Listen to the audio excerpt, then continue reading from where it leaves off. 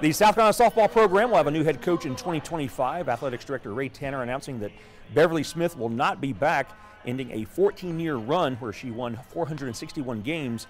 That is the program's second most all time behind the legendary Joyce Compton. Now, Carolina went to the postseason in nine of Beverly's 14 seasons.